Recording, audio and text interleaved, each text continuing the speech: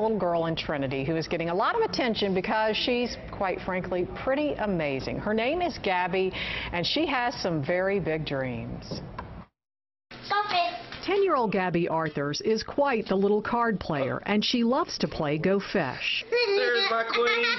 She's amazing in many ways. One, for just being alive. She was born with a hole in her heart, a cleft lip, no palate. The left side of her body is shorter than the right.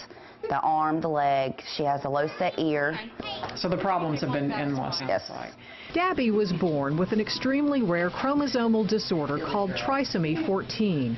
The outlook was grim. Ventilated, tube fed, wheelchaired. She wasn't expected to thrive, but she's far exceeded that. She just took her California Achievement Test for homeschooled, and she is on a kindergarten, higher kindergarten, low first grade. And if that's not amazing enough, look at this. She was just crowned the queen of the North Carolina Miss Amazing pageant. It's for girls five and up with physical or mental disabilities. She won it.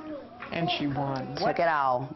The talent part and the queen. I have sass and cramp. And now Gabby has big dreams of winning on a national level in Nebraska in August. Go King Gabby. And Team Gabby is the name of a Facebook page her mom has started to show off Gabby's accomplishments and to raise awareness about trisomy 14. I wanted them to see that Gabby has struggled, but she's climbed and she's overcame everything she's ever done. And she believes the sky is the limit for Gabby. She used to want to be a firefighter Gabby. Now she wants to be a weathercast girl.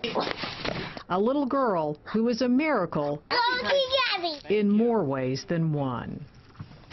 And folks in the Triad are rallying around Gabby to help make her trip to the national pageant possible. There's a fundraiser next Tuesday night. It's at CiCi's Pizza on North Main Street in High Point. They're going to be selling Team Gabby t-shirts, also these Team Gabby bracelets. That's to help fund the trip.